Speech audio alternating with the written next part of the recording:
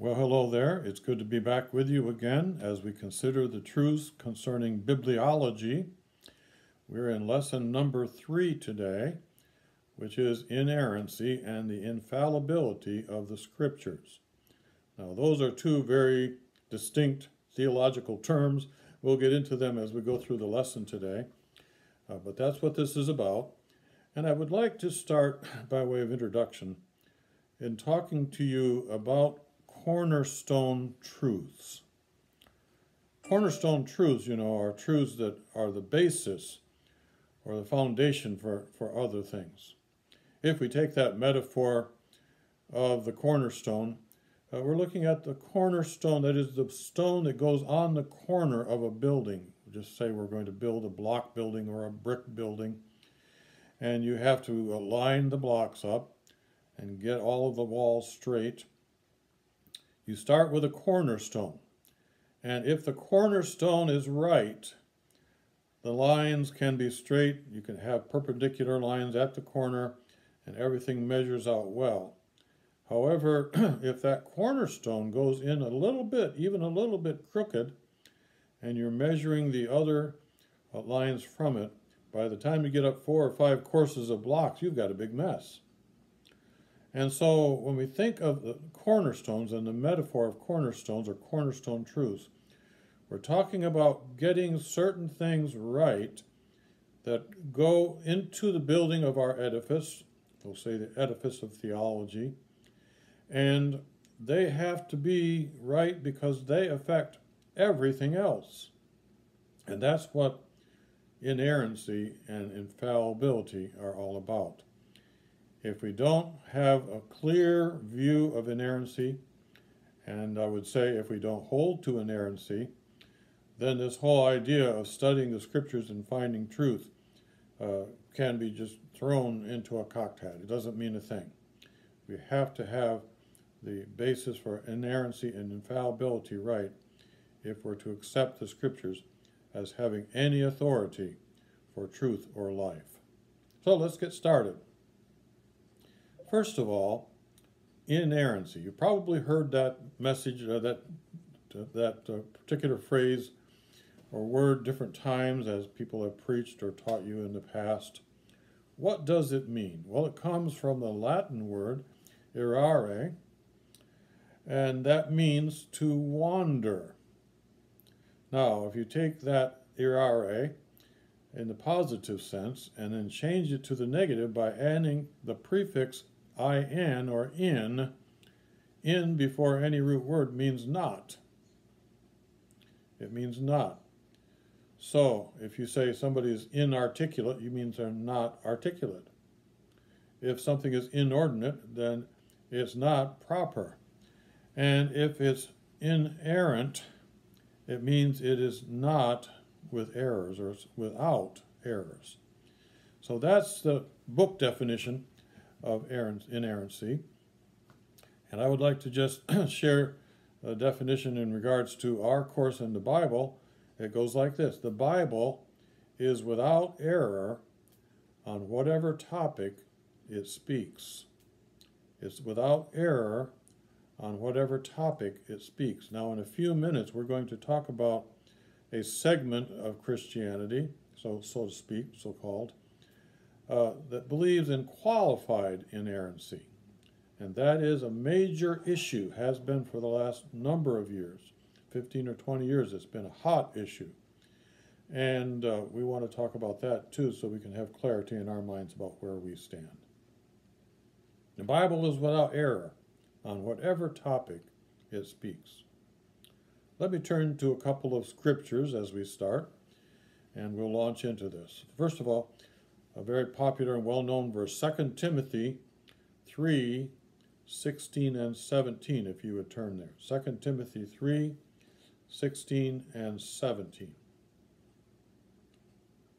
All scripture is breathed out by God and is profitable for teaching, for reproof, uh, for correction, and for training in righteousness, that the man of God may be complete, equipped for every good work.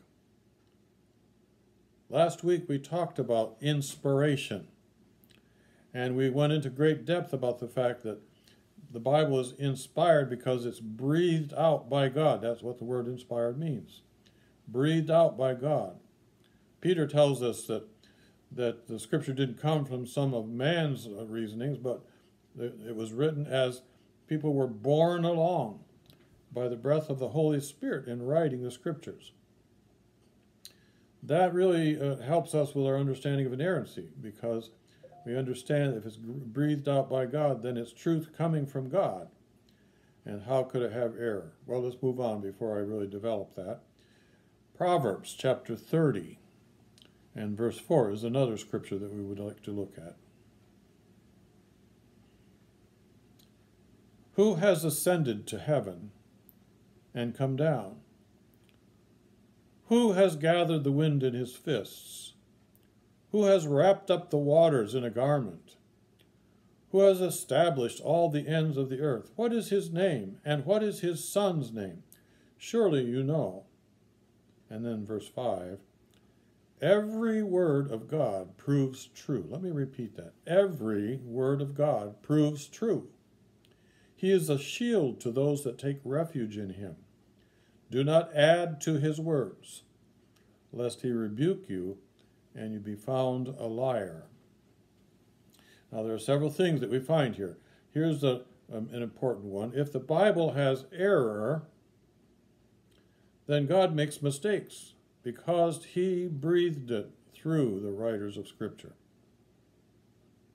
Let me repeat that. If the Bible has errors, God makes mistakes because he was the one who breathed it through the writers onto the page. You see, that first scripture, all scriptures is breathed out by God, tells us that. And if we say that it's got some errors, then God must have given those errors because he was the one that superintended the writing of the scripture. The second thing here is uh, the truth of God, if put to the refiner's fire, will not find any impurities rising to the surface. Now, that may sound completely out of context to you. So let me backtrack and look at Proverbs 30 and verse 5 in the King James Version, which is a better rendering of this. Every word of God is pure. The actual word here that's translated pure in the King James Version or true in the ESV is a word that describes the process that a metallurgist goes through when he takes some gold or silver or other metal and he wants to get the impurities out of it. They're called dross, of course. He wants to get the impurities out of it, so he submits it to the fire to heat. And placing it over the heat, he has a device that will allow the dross to separate from the silver or gold. Actually, it comes to the surface and he skims it off. That's the purifying of that metal. That is the word or the metaphor that's used here when the writer of the proverb says, Every word of God is or proves pure. Hey, uh, he is a shield to those that take refuge in him. This is all about God. Truth is, if God's truth were put to the refiner's fire, and it was tested with the refiner's fire, we wouldn't find any impurity coming to the surface. That's what he's saying here. It proves true. There's no impurity coming to the surface. In other words, every word of God's word is perfect and pure. So, those are a couple of scriptures that lend to our understanding of inerrancy and why we believe in inerrancy. The Bible must be true because if it has error, then it's God's error, and God can't be in error. And the truth of God is pure. Try it with a refiner's fire, and you will not find anything wrong that comes to the surface. Well, let's talk about infallibility for a minute. I must uh, has, uh, haste to, tell you that infallibility has to be tied with inerrancy every time. This is a relatively minor truth compared to inerrancy, and I'm only going to speak for a few minutes about it, uh, if any, any truth could be minor, but it is important. we're talking about the process here of the inspiration. And infallibility uh, means, and here's the definition it is impossible for the writers of Scripture to record an error since they are led by God in their writing. I'll read it again. It is impossible for the writers of Scripture to record an error since they are led by God in their writing. Infallibility. The Scriptures cannot contain any error because of the process of inspiration being God breathed. And we must come back to God and who He is and His own authority. Let's turn to Psalm 19 and verse 9, and I'd like to read this for you. Psalm 19 and verses 9 through 11. The fear of the Lord is clean, enduring forever. The rules of the Lord are true and righteous altogether. More to be desired are they than gold, even much fine gold. Sweeter also than honey and the dripping of the honeycomb. Moreover, by them is your servant warned. In keeping them, there is a great reward. Now look at Psalm 19 and verse 12. Who could discern his errors? Declare me innocent from hidden faults. Who can discern his error? That's a rhetorical question. The answer, which is assumed to be no one. Who could find God's errors? No one. Now, why is that? Well, because if I could declare God an error, that places me at a higher authority than Him. That's just impossible. And so the scripture puts out that rhetorical question there in Psalm 19:12. Who could discern his errors? And of course the answer is no one. So there is the infallibility of the scripture as it has been given to us through inspiration. We know that the writers could write something in error because God was the one that was giving it to them. And two, God Himself cannot be in error. Well, what is the importance of, of these doctrines? Why do we care? uh, let's just talk about inerrancy first and authority. We're coming back now to the Bible's claim to have authority. What does inerrancy have to do with authority? Well, in Romans 3, 3, we have part of an answer here. Let's look at that, Romans 3, 3. Remember, inerrancy means everything that the Bible speaks about is true and without error.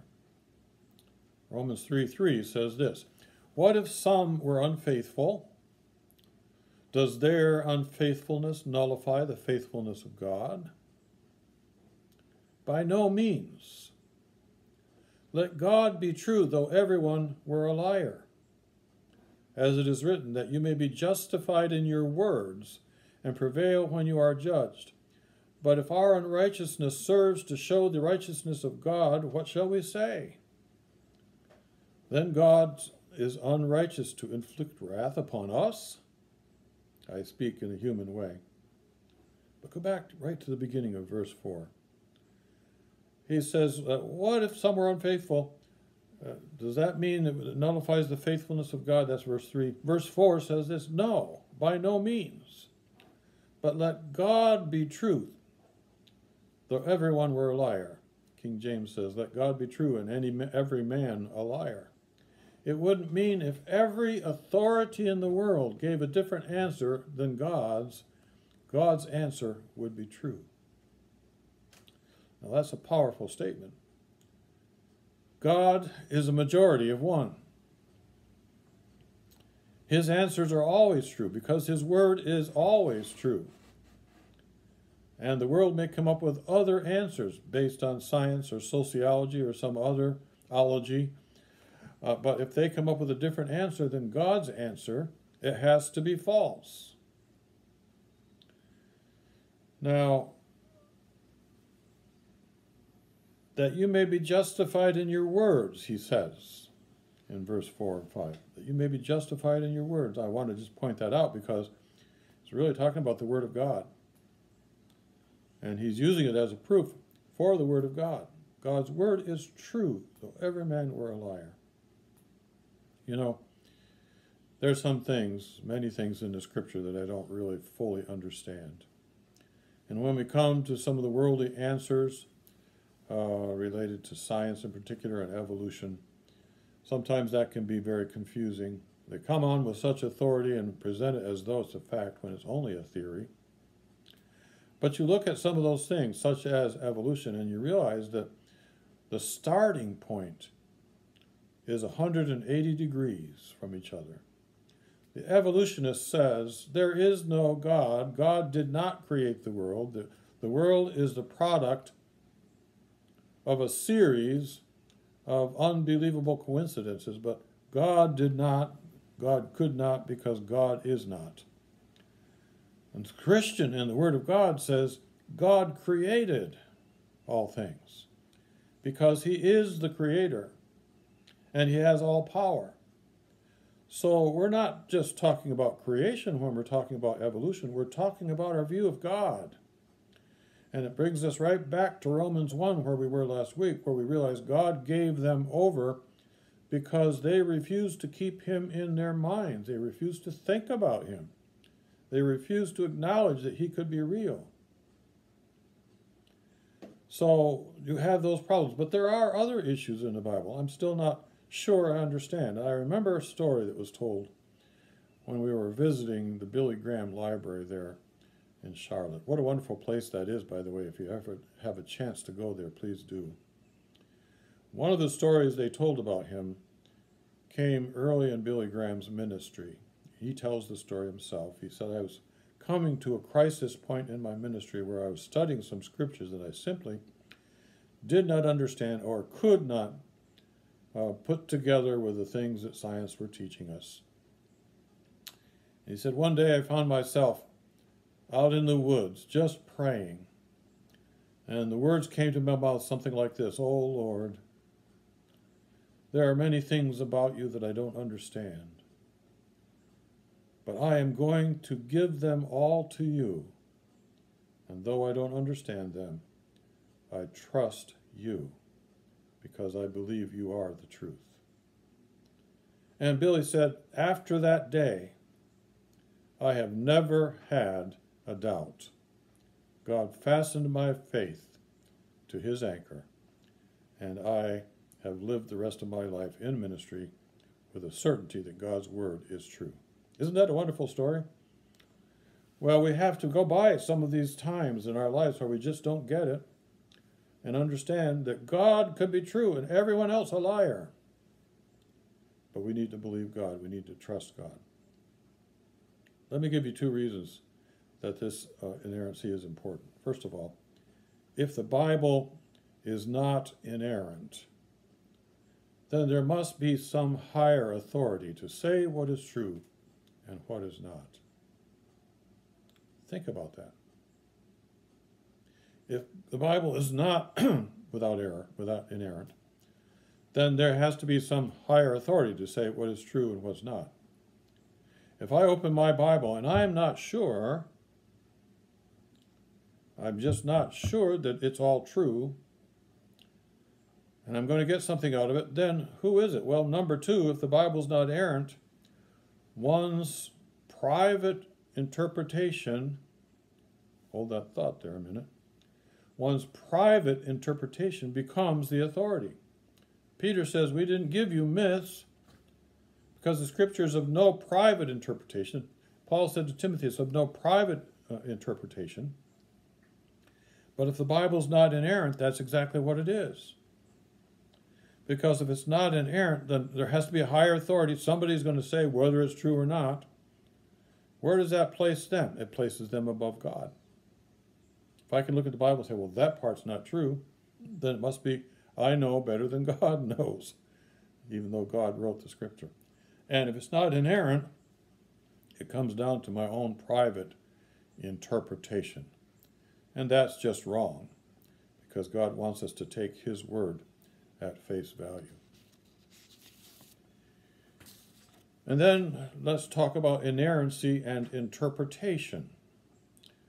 As we go through the scripture, we have to learn to interpret it. We're going to have another session or two that touch on that as we go through this course how to interpret the Bible and to understand what are the rules of interpretation. It's a whole field that is involved with that called hermeneutics.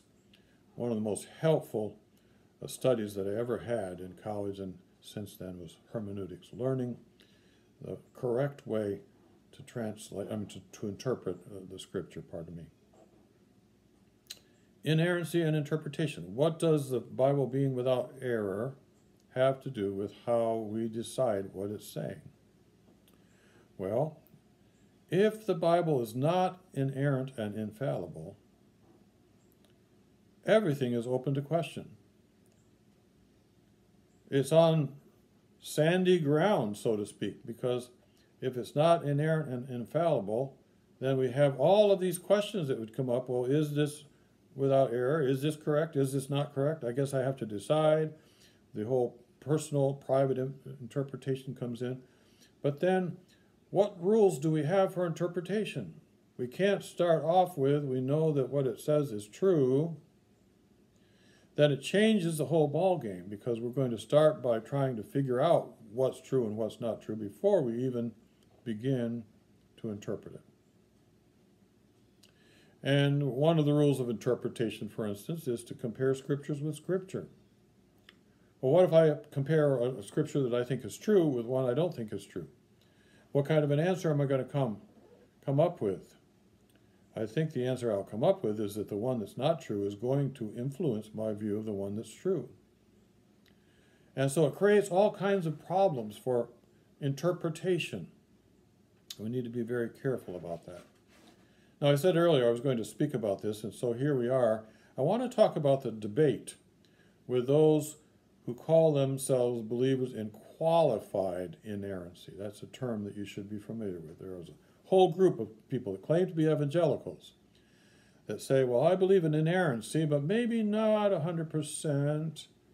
Uh, there may be a few places. After all, the Bible is certainly without error when it's talking about spiritual things, but when it addresses history or matters of science, well, then uh, I think we need to, to look at this because perhaps some of those ideas in the Bible were were taken from stories that were told by cultures back then.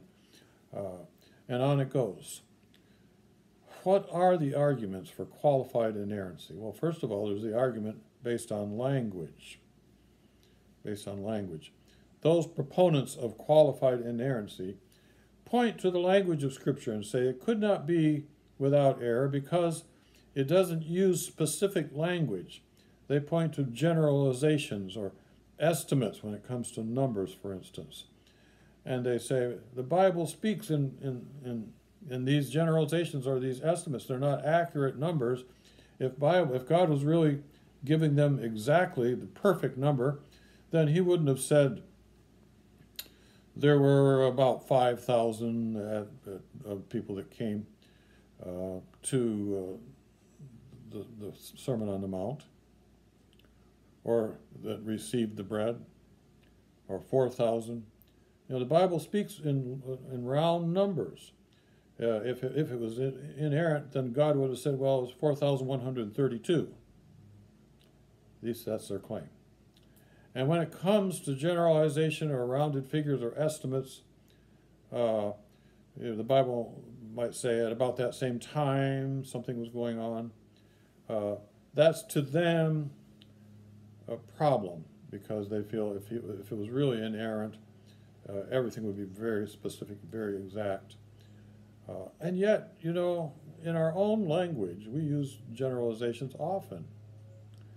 If I say to you, I'll see you soon, what does that mean? Well, it's different than later, but I haven't given you any number of hours or days, have I?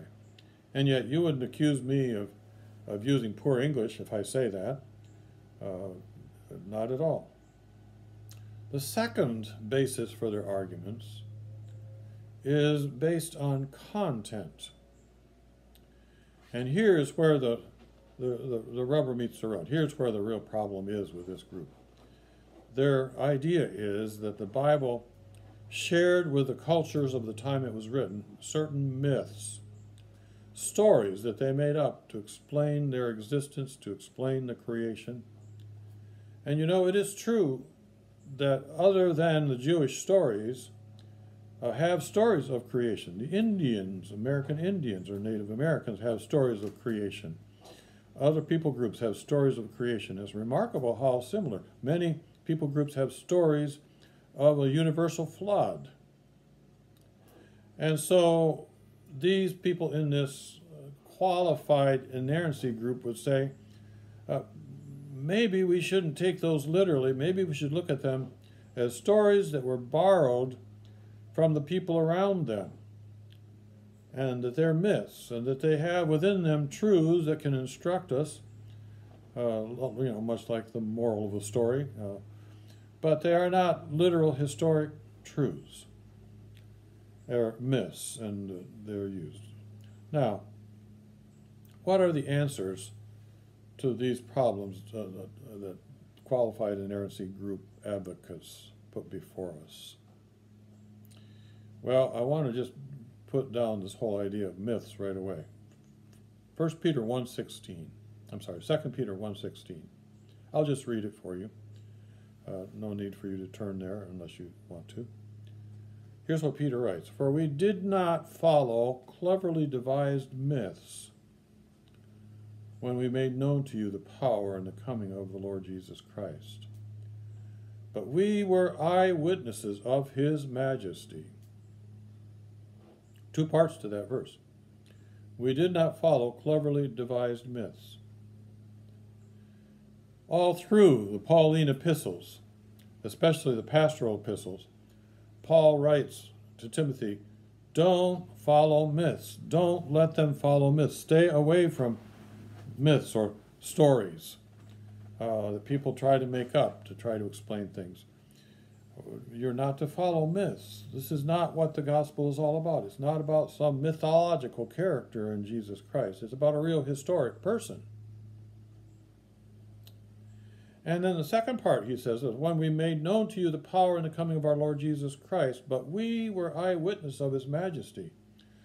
And I think we need to understand here that when the Bible was written, even in the Old Testament and the histories, these were written by people who either were eyewitnesses of what was going on at that time or were receiving the stories as they were handed down from eyewitnesses, not made up stories, not fiction. They were stories that were real stories that people had experienced and had passed on. And in fact, that was commanded by the Lord. Remember when they went across the river, God had them put a pillar of stones in the middle of it. And he, he said, Now, what are these for? Well, when your children ask you, Daddy, what are those stones for? You can tell them how God led you out of the wilderness. He encouraged, God commanded and encouraged people to tell the stories generation to generation.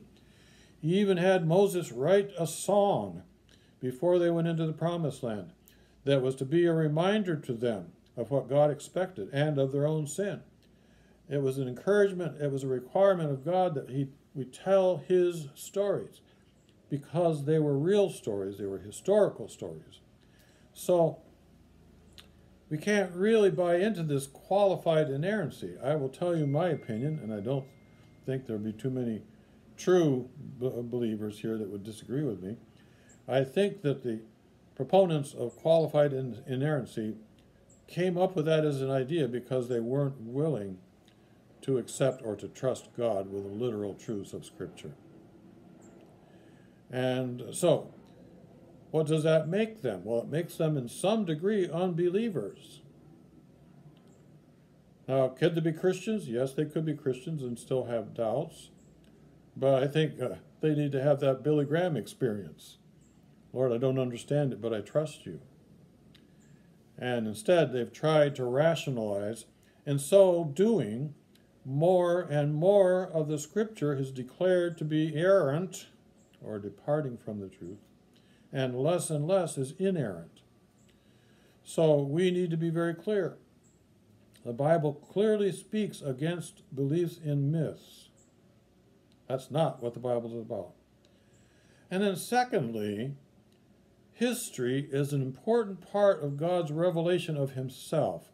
If you were in the Sunday school class last quarter, you heard me give expression every week to a different part of the character of God that was demonstrated by those vignettes, those stories of parts of the, uh, the journey, the Exodus. And each time we had a lesson, we talked about what happened and then how that showed God's character. That's part of his revelation. We talked about that last uh, two weeks ago. And so, if we're to intended to use history as a means of understanding God, if he's using that as part of his revelation, then we need to have the correct history in order to come to the correct conclusion. And so history is important as a part of God's revelation, and that's one of the answers to qualified inerrancy. I believe that inerrancy is a cornerstone doctrine of our faith. If you don't believe that the Scripture is true, all of them, to the extent of the fullness of Scripture, then you really don't believe, and you have to start from a whole different point of view. And that turns your cornerstone in a different direction. And any effort to try to form a solid theology on that crooked cornerstone is doomed to fail. We must believe in inerrancy then and the infallibility of Scripture. And you see, these both go along with inspiration. Revelation, inspiration, and inerrancy all support one another. God wants to be known. He reveals himself through the general revelation, through the special revelation, through the personal revelation of Jesus Christ. He reveals himself through the way he acts in history as we are able to see what that shows of him. And he reveals himself historically to different characters, such as Moses, as he was in the cleft of the rock. God wants to be known. And so we look at Revelation and see that this was coming from God as a means for us to know him. We look at inspiration and we see this is the means of presenting that special revelation, the Word of God, through the work of the Holy Spirit in breathing out God's Word through the men that wrote it. And we understand because of who wrote it and because of the truth of God that inerrancy is inerrant to the words of Scripture and to all of the Scripture, the verbal plenary inspiration of God. They are each part of an integrated message. God's Word is true in every detail, and we can count on that. I hope this gives you a little bit more confidence and certainty. We want to have that to be what comes to you out of this lesson. The last thing, in conclusion, that I want to share with you is that the Bible has to be our authority. I spoke to that last week in telling you about my second most embarrassing experience. I'm not going to tell you another one, but uh, the Bible has to be our authority. It has to be our go to book for all truth if you're questioning a truth, don't go to some commentary, to some other book. Go to the scripture. Look up everything you can find on that, on that truth. When I was teaching Bible in high school years ago, we tried something a little bit different. And it, it just was a blessing as we went through it. And you can do this too. I'll describe it to you, and if you want to do this, then I would love to hear how it's going for you. I had the young people have a Bible and a concordance. Now, we didn't have electronic concordances then. Uh, we had little paperback ones or big full concordances. A concordance is just a tool which takes a word and it finds every scripture that includes that word. And so I said to them, I want you to divide your page, uh, use the horizontal view, I want you to divide the page into three columns. In the first column, I want you to find a scripture that has to do with the topic. Maybe it's bibliology, and so you're going to see what the Bible says about itself. And uh, So you find that scripture that speaks about the Bible, says something about the Bible, and you write that verse out in the first column. In the second column, I want you to write a paraphrase, sort of like the Living Bible, of that verse. Write a paraphrase. Try to put it in your own words, modern English. Then, very important, in the third column, you're going to put in a few words, no more, the truth that is taught by that scripture. The truth that is taught by that scripture. For instance, it might be if we're in bibliology, the scripture is 2 Timothy passage that we talked about earlier, and you're going to paraphrase that, and then you're going to put over on the right hand side in that right hand column, the Bible is inspired. I said, I'm going to do that through every verse that you can find. I'm going to give you a lot of key words to look up. So they would jot down my 10 or 15 key words that I knew would take them to scriptures about the Bible. And you're going to take each one of those key words and you're going to look it up in the concordance. You're going to read the Bible. If it applies to truth about the Bible, then you're going to write it out. And then in the second column, you're going to paraphrase it. And in the right hand column, you're going to have the truth. And we did that. I let them work on it at home. We worked on it during the, Bible class for two weeks, each doctrine for two weeks. They would be working on their projects, they would be working on their pages. They were welcome to share with each other. There was no such thing as cheating in this class. I wanted them to get it. And then after two weeks, they were to turn their Bible project in, and then I taught for two weeks about the doctrine. And we did that, doctrine by doctrine by doctrine. Uh, there are seven major doctrines or ten major doctrines, depending on which school of theology you go through. I think we took the ten, and over 40 weeks, that's four weeks per, uh, we were able to take the ten doctrines and they were able to do this. It was amazing because it caught fire with the students.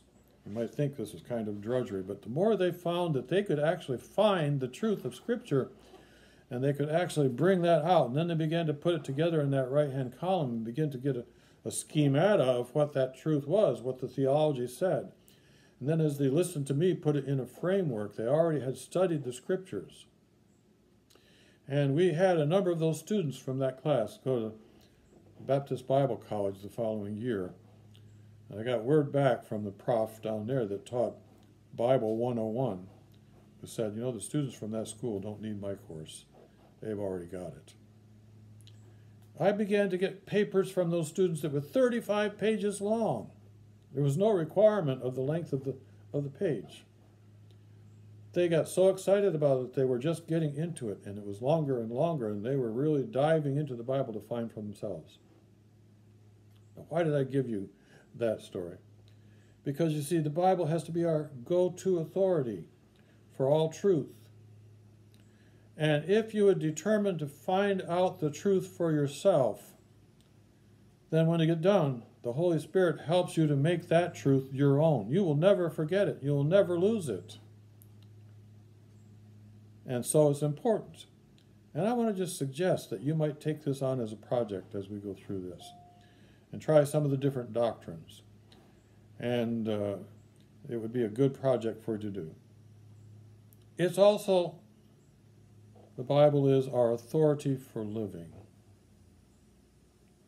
For living. As I said to you last week when I had that most second most embarrassing experience, that was a point of departure for me because I came out of that experience with a decision between myself and the Lord that I would always, always base my decisions and my beliefs on the Bible and the Bible only. And it took several years before I even would come to the point where I could read uh, a commentary about it. I wanted to find out for myself what the Bible said. That was the richest time in my spiritual life, in my lifetime, those 10 years or so, where I was literally for the first time forming those doctrines in my mind. I want you to understand something here. I was born again at age five in our church. a church to which my, my parents took all of us from almost the day we were born. I think I was in church with mom the day after I was born, if I got the story right. And uh, we were brought up in a wonderful Christian family. And we were in the church, a good church, all of those years. And yet, I never developed my own convictions until that 10 year span when I was literally looking it up, ferreting it out, writing it out, and figuring it out through the help of the Holy Spirit. And then, when it came to decisions that I had to make or my wife and I had to make, every time I have gone to the scripture and asked myself the question Does the Bible give me any instruction on this? Now, you might think, well, what? That's, what does the Bible have to do with that? Well, I wanted to say everything because I have been surprised at how many times the Bible gives me answers that I didn't even expect or had specific principles that I could apply.